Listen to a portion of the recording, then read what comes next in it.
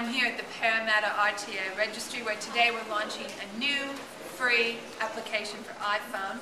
It helps our learners practice their tests before they get here to take the real one. This is a great thing for young kids preparing to become drivers, isn't it, Tanya? It certainly is, and this building was actually opened by the state Labor government in 2008.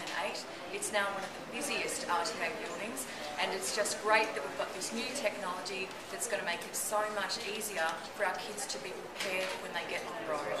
That's right, and David, I mean, this new technology that just makes such a difference for young people. Uh, well, it does. I mean, I, I took my test on the old uh, paper paper system, uh, and now kids can learn anywhere, and that's great because uh, it's the important thing with tests is people are absolutely uh, conscious of the road rules.